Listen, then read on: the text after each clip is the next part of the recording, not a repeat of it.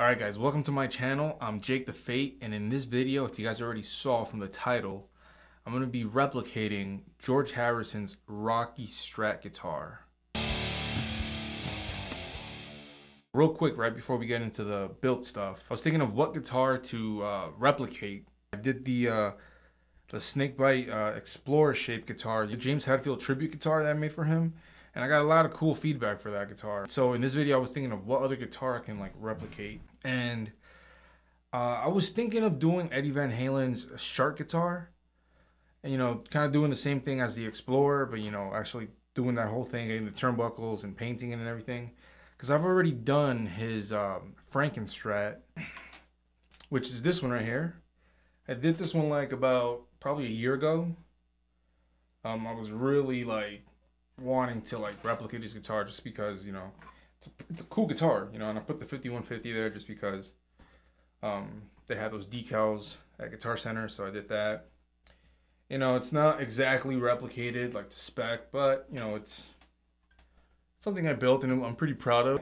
So this was this one, and I was thinking of doing, you know, his um, shark guitar. You know, I was thinking of doing that guitar, and then you know, I figured, you know, it's gonna take a long, it's gonna take a while. You know, I'm gonna have to do drilling and doing all that stuff and cutting out chunks of the guitar, which I don't have a problem with. But you know, I'll probably do that on a different video, or even probably uh, do another uh, Frankenstrat video. But I was listening to the Beatles the other day, and I was like, George Harrison's Rocky, and you know, I've I was at a Sam Ash store and I saw it on the on the rack and I was like, huh, is this like original? Like, you know, like the Fender one? Or did someone make it? Because you know it was it was selling for like pretty cheap. So I was like, man, if this was like built by somebody, I guess, you know, I can do it, you know. So and the plan of this, right? There's two ways you guys can do it. If you guys are gonna like look at this video to try to do it yourself because I'm a huge do it yourselfer. You there's two ways you can do it. You can either buy yourself the DIY Strat kit. You know, they sell them on Amazon for like $90 until like I don't know, 160, 200, 300, whatever you guys want. But if you guys are not trying to spend that much money and trying to like, you know, do this on a budget, you guys can you know get yourself a cheap little Squier. That's how I did the the Frankenstrat. You know, I got myself a Squier guitar, and I just I wanted that maple neck, and I put it on. So, um, on this build, my boy Jonathan gave me his guitar because I was you know trying to like figure out if I can just like get a cheap Squier somewhere. You know, he was so awesome, and he gave me his guitar. This guitar to him is pretty special, you know, and he got this thing probably a couple years ago. Probably I don't even know, but it's in great condition for the amount of time. You know, it's a Squier guitar. I actually modified it for him. I put the humbuckers that I wound. It's a good guitar, you know. So it's a perfect guitar to uh, you know work with and do modifications and stuff like what I'm about to do right now. Now, when it comes to the body itself, right? George Harrison's guitar, his guitar is a natural like his you know he kept the back of his guitar you know the original color. So i think i might do the same thing with this guitar keeping it red you know just like ferrari red color. I'm gonna keep it that way. So you know to be original like his guitar. Now if you guys want to do paint the whole thing i think it's like a sonic blue his original guitar. And you know the history of that guitar um, he painted it like just like paint colors that were from the 70s so it's gonna be kind of hard to replicate those colors um and like nail polish and stuff like that. So you know it's gonna be a, a pretty it's not gonna be on point you know like with the color but it's just gonna be something fun to do. And if you guys are beatles fans you guys can definitely do that because you know george harrison who doesn't respect the man. So let's get to the workbench and let's get started on this all right, so my first thing that I'm gonna do is obviously take everything apart. And I would obviously recommend you guys using a reference picture to look at it. All right, so you're gonna also need a white pick guard. You know, these things are pretty cheap. You can get them off of Amazon too. or like your local guitar store. Um, pickups, I'm gonna wind my own pickups, but you know, you're just gonna need like white plastic covers to paint, you know, the, the green, the yellow and like that. It's like a burgundy or it looks like magenta, like a pretty magenta color. I'm gonna try to replicate it. I don't know, have to like really look into it. So yeah, that's that. And you're just gonna need, you know, the white knobs. Um, the pick guard, I think my wife's gonna probably do it because I'm not really good with details. So yeah, so she's gonna do this and I'm gonna do the body. So the paint colors I'm gonna be using is this uh, Craft Smart Pale Blue paint. And uh, this, I think this was the actual original color that he had. Um, I said Sonic Blue, but it was actually pale blue. But it's obviously acrylic paint, but it works. This bright green is like what I got kind of close to like the headstock little Rocky logo thing. You know, it's not really that important. You could probably like mix it, but you know, if you really want to be right with that, I would say these two colors are like spot on. Everything else was kind of hard. Uh, the orange that I used was bright orange. Um, and I kind of messed up here because I got like different kinds of acrylic. So I got, I got like outdoor acrylic, which is like, it's pretty sturdy. So this one's really good. And this orange one's like gloss acrylic paint. So it's like, it kind of like streaks this yellow outdoor acrylic paint, the red outdoor acrylic paint. I got black regular acrylic paint, but if you can get the outdoors for both of these, then you guys would be pretty much set. And then regular white, and I also got like this green grass one, this other green one, a dark green, whatever you guys have, honestly. This is basically what I use, but if you guys can get all of the outdoor acrylic paints, I would really recommend that because it actually was like like regular paint. You know, if you want to get it real nice, then highly recommend the outdoor one. So first, what I'm going to do is, um, I have this like 800 grit wet and dry sandpaper. I'm just going to lightly scuff the area that I'm going to be painting because you're going to want paint to stick to this because if you just do it over this, it's just to rub right off. So you're to want that chemical bond, you know, so you're just to have to like lightly scuff it. You know, you're not trying to like take off the whole thing, but just lightly scuff it.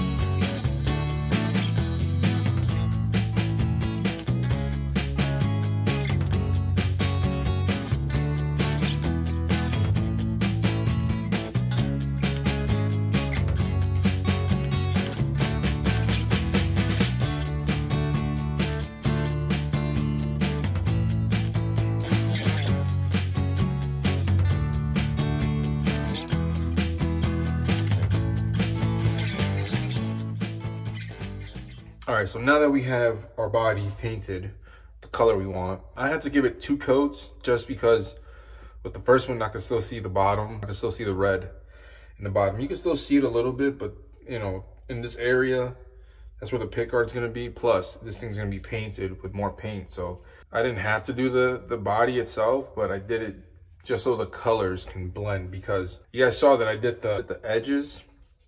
And then when I tried to paint this orange, it was just like dark because of the red. So yeah, I gave it two coats. So it's like a little bit brighter. So that's gonna look nice. You know, it's gonna be nice and bright. So we're gonna get into the pattern part now.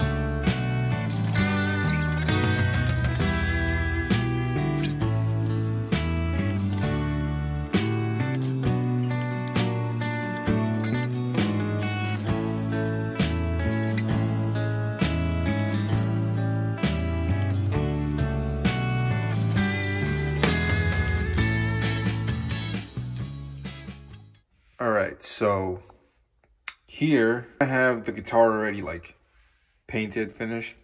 You know, the colors aren't on point, you know, obviously, but you know, I you guys can get pretty close to it. You know, all you're gonna need is just like red, green, yellow, and orange, which is like the three basic colors. And as you can see here, this is just a reference video that I've been looking at. You know, it's not perfect, but as you can see, like the green itself is not very smooth because, you know, you can see like the strokes and the different colors and stuff. So, you know, I was trying to get it on point because I couldn't really see. So I had to like mix some colors. Not on point to that, but just like, you know, so it looks nice because the yellow, this yellow looks like mustard compared to that yellow. And obviously the orange is not as bright, but I'm just working with what I have. So uh, to get that green, I guess if you guys want to know, I just basically mixed the green grass paint with the regular green and a little bit of white and just put that in there. And um, to get this color, all I did was just grab the red and put some white in there.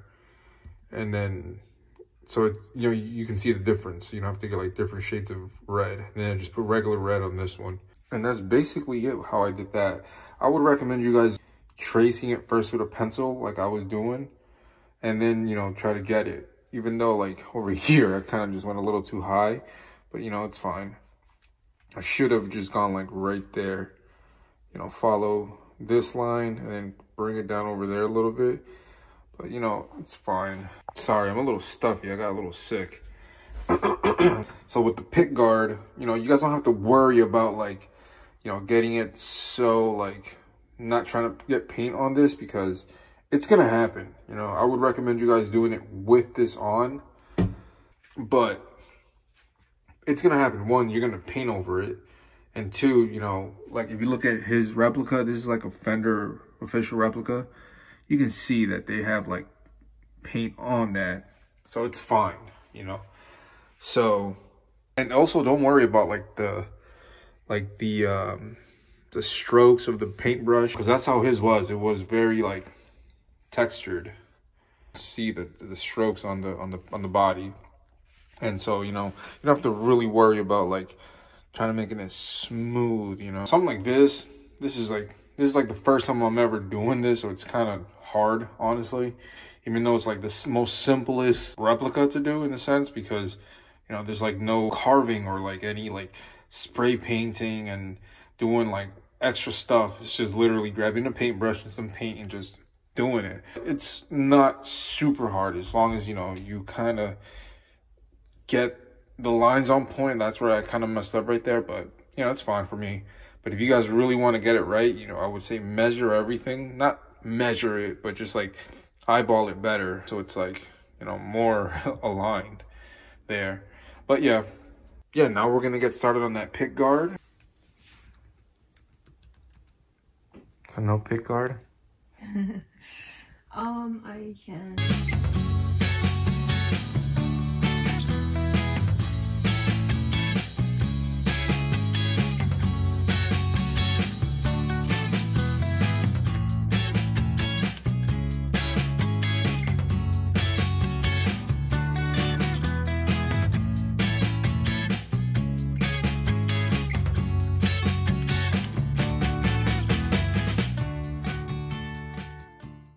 All right, so for this next part, I'm gonna be clear coating this thing. Polyurethane, water-based, crystal clear gloss, just to protect the paint. You guys don't really have to do that, but you know, just to give it a better look and just to really protect the paint so it doesn't like chip off and stuff.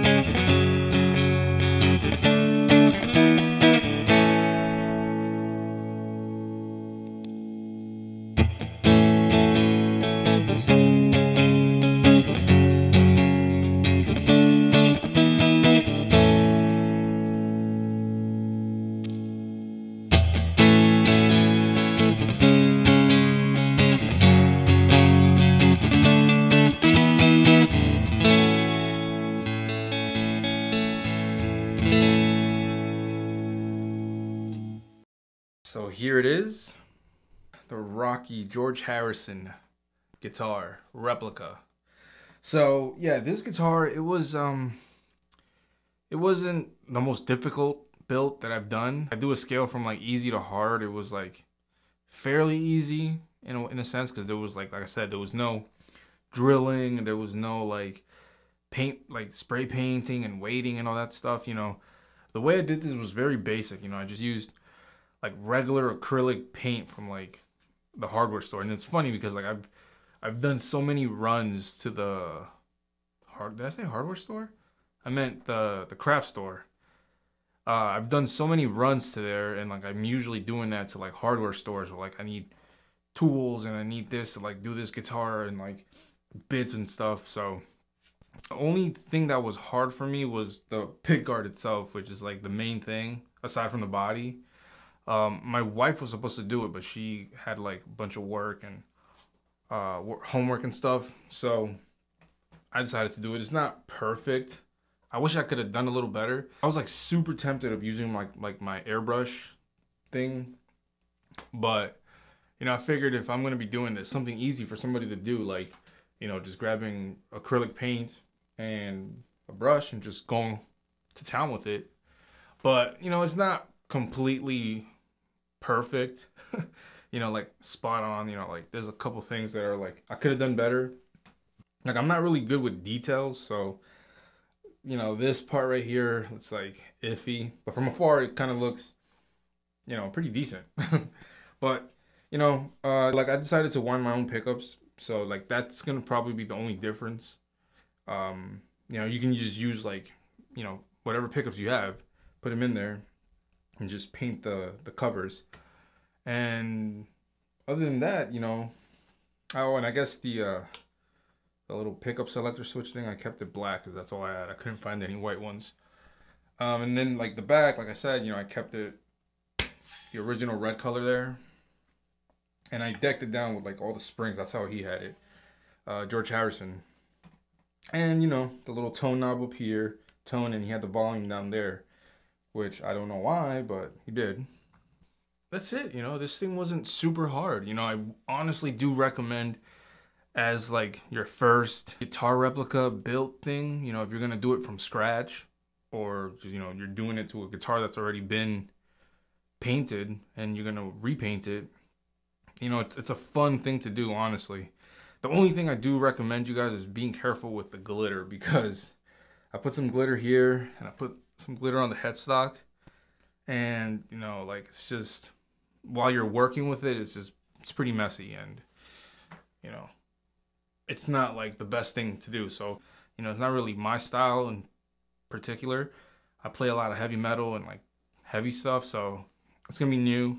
I mean, I do sometimes, but you know, it's not my cup of tea. But this guitar is just like pretty awesome. So yeah, it's such an iconic guitar that you know people want it. And you know he probably wasn't even thinking about that at the time. He was just like oh i gotta make myself stand out so i'm just gonna put all this paint on this and just like go out there. So i do recommend you guys doing something like this. You know it's very fun. And the, one of the main reasons i would recommend you guys to do this is because you kind of like even though it's like a cheaper guitar the fact that you put your time and effort and you know trying to like make this your own. You kind of like get real close to this. So it's like, you know, you put your time and effort into this that it's probably not the most expensive guitar that you're like, well, I'm going to just like not play my Fender Stratocaster or like the most expensive guitar that I have and just play this.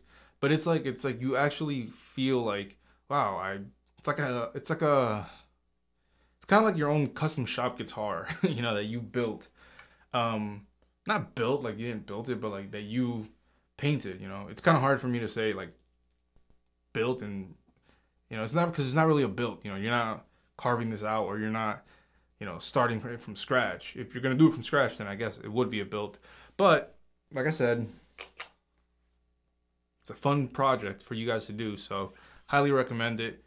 And I hope you guys enjoy this video. And uh, I guess that's all I got.